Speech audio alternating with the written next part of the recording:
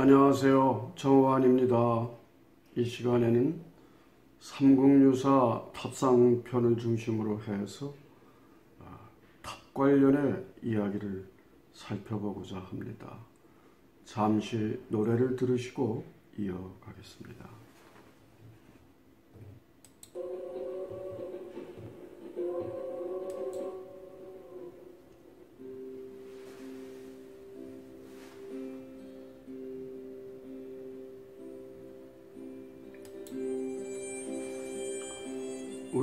역사를 찾아서 삼국유사를 찾아서 탑 관련 이야기를 찾아서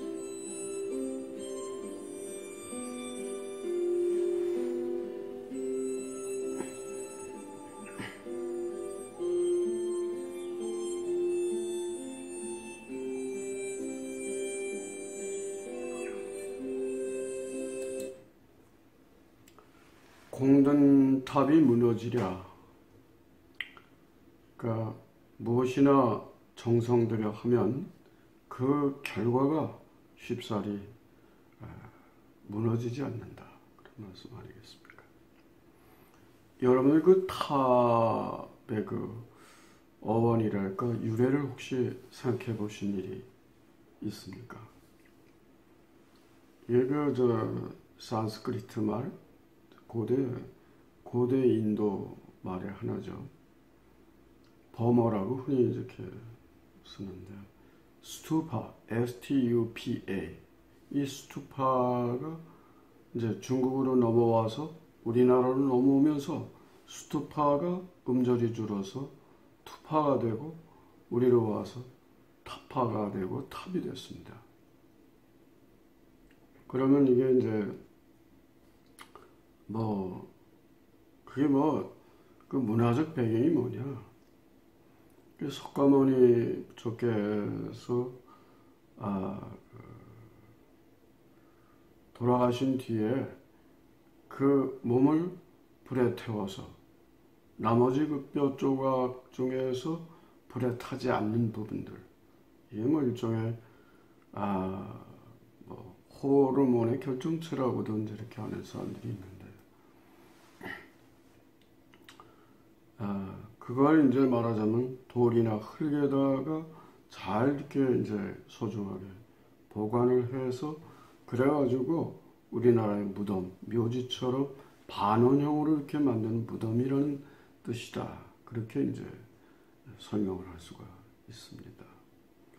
이 미얀마나 구미, 구라파, 구미 쪽에서는 이제 그 타워라는 영어 말하고는 좀 구별해서 파고다는 말을 쓰지 않습니까? 서울에 가면 지금 파고다 공원이 있지 않습니까? 그 김희동님 아, 선언을 위한 그런 이제 활동의 공간이기도 했고 아, 원래 그 석가모니 부처께서 아, 구시나가라 사라상수 그 나무 아래에서 돌아간 뒤에 그분의 몸을 불에다 태워서 그런 그 나머지 여러 가지 뼈 조각이라든가 불에 타지 않는 그런 어떤 그 뭐 호르몬의 결정체인지는 알 수 없으나 하여튼 그 그렇다고 합니다. 그래서 그거를 갖다가 그 당시 인도의 그 크고 작은 여덟 개 나라가 그 사리를 갖다 서로 경쟁적으로 더 가져가려고 했어요. 그뭐 답이 없잖아요. 그때 도로나라고 하는 사람이 제안을 해서 그러지 말고 우리 똑같이 나눠 갑시다. 그래서 나눌 분자 분살이라고 합니다. 원래 살이란 말이 육을 곧 뼈라 하는 의미입니다. 네. 아, 인도의 고대 왕조 가운데 마우리아라는 그 왕조가 있었는데 그 제3대 임금인 아소카 왕때 아유왕이라고도 하죠. 이때 이제 여덟 개의 탑을 이제 그 발굴을 해가지고 그 살이 뼈 조각 응? 이걸 8만 4천 개가 나왔다. 그래서 그걸 나누어 가지고 8만 4천 개를 나누어서 이제 불교를 전파하는데 큰 계기가 됐다. 그럼 삼국유사에 전하는 탑상 부분에 전하는 이런 그 어, 탑과 관련한 그런 이야기들은 어떻게 되는 것인가? 요동성 유광탑 부분을 보게 되면은 고구려의 시조 동명성왕 고주몽 아닙니까? 요하의 동쪽 요동으로 가늠되는 그러한 지역을 순행을 했는데 어디를 가니까 저렇게 무지개 가지고 아마도 그뭐 소나기가 오고 난 뒤인지는 모르겠지만 무지개가 이렇게 뜨고 그 구름 속에서 웬 지팡이를 든 스님이 한 사람 보이더라 이 말이야. 마치 그뭐 이리로 오라는 듯이 그 신하를 보내가지고 구름을 헤치고 들어가 보니까 아 거기 글쎄 응? 흑탑이 하나 있는데 그 묘지망에 나와서 보니까 산스크리트 범어로 뭘 적어서 보니까 그 아유왕 관련이 나왔더라. 그래서 그 자리에 이제 여광 소위 그 이제 말하자면 아, 유광탑이라고 하는 그런 탑을 갖다가 아, 세웠죠. 음. 여기는 뭐그 그 요동이 어디냐 좀 서로 아 견해가 좀 달리 하기도 합니다. 요하의 동쪽이다 아니라 하북성 성덕 이론이다 그런 그 주장들이 있습니다. 다음 그 금광산 금관성 파사석탑 여러분들 저 얼마 전에 몇 주 전에 아마 제가 말씀드린 기억이 납니다만 금관성이 어디입니까? 지금 오늘 김해 아닙니까? 원래 지금은 이제 그 어, 김해시 구산동 구지공 바로 옆에 있지 않습니까? 그 김수로 왕비였던 허왕우의 능이 있는 그 경내에 있지만은 원래는 그 호계사에 있던 것이었습니다. 이제 그 허왕옥이 그 파사 석탑을 이제 그 인도에서 가져왔는데 아유타국에서 왕이 이제 꿈을 꾸고 이제 공주를 김수로 왕의 왕비를 보내지 않습니까? 신하들을 함께 대동해서 배를 타고 올 때, 뭐 우여곡절 끝에 하여튼 그 파도를 넘기 위해서 그 돌로 된그 파사 석탑을 실어서 무사히 왔다. 그 탑에 이제 불력이라는 거죠. 네, 그래가지고 이제 왔는데 이게 이제 금관지주사가 금관지주사 지라고 하는 건 알지자를 쓰는데 이것은 맞는다 이 말이에요. 도지사 뭐 할 때그 도를 맡아서 하나의 행정을 하는 그런 책임자다 그런 뜻이죠. 여기도 지주사 마찬가지. 그 기록에 가락국기가 실려 있는데 거기에 이제 실려 전합니다. 네.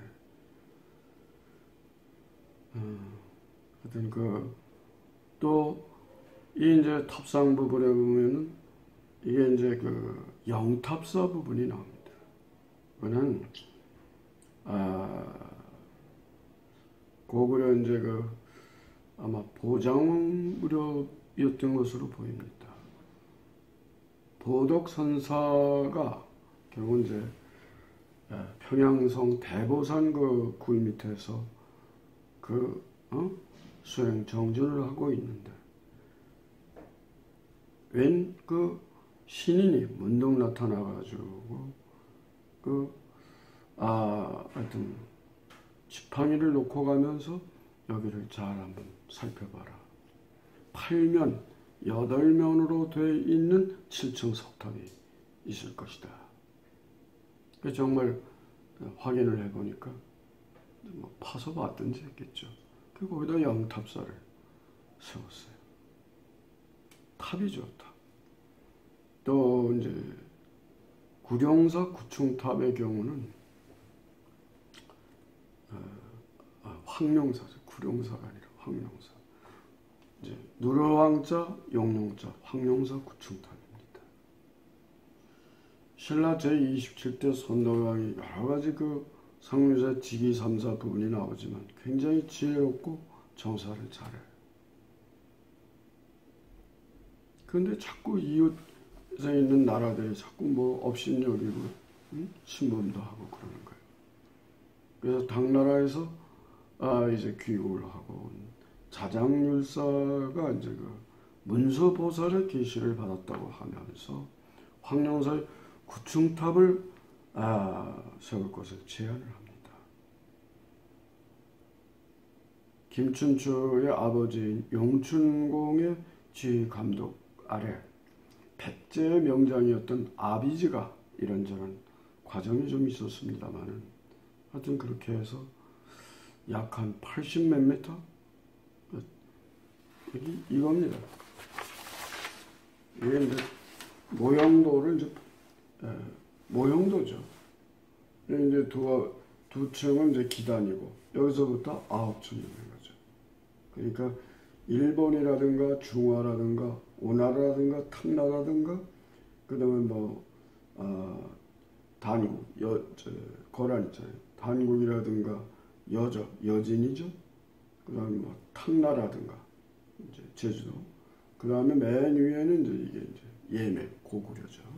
이렇게 해서 이 구층탑의 힘으로 그 뒤에 태평성대를 이루고 통일신라를 이루는 그러한 기초를 닦게 됐다는 것입니다. 다음에 백엄사 석탑사리가 나옵니다. 이게 이제 옛고자 전할전자 고전에 따르면 이 백엄사는 신라 때 이제 그 동서남북에 이제 그 대갓집들이 있었지 않습니까? 금입택이라서 금을 금으로 이제 이렇게 어, 뭐 도금을 했는지 치를 했, 겠죠 그 북택을 시사를 해가지고 누가 했다는 건 없습니다. 그래가지고 그 자리에다가 에, 절을 지었다. 그게 이제 백음사가 된 겁니다. 근데 오랫동안 그 뒤에 이제 유야무야 돼가지고 거의 폐사가 돼버렸어요. 고려 때 와서 양부 스님 때 이제 이걸 어, 다시 중수를 했고, 아, 두고 지정돼서 석수립에 와서 새로이 그 자리에 5층 석탑을 세우고 진신자리 42알을 아, 모셨다고 합니다. 다음은요 오대산 문수사 석탑기가 있는데 아 이게 강릉 있지 않습니까? 연곡현에 지금도 연곡이 있습니다. 고기 잡는 어부 얘기예요. 배를 타고 이제 바다로 고기를 잡으러 나가는데 아 웬 뒤에 그 이제 그 그림자 절에 있는 탑, 저 탑의 그림자가 쫓아온다 이 말이야. 그 그림자 때문인지 하여튼 고기들이 다 도망을 가가지고 고기를 하나도 못 잡았어.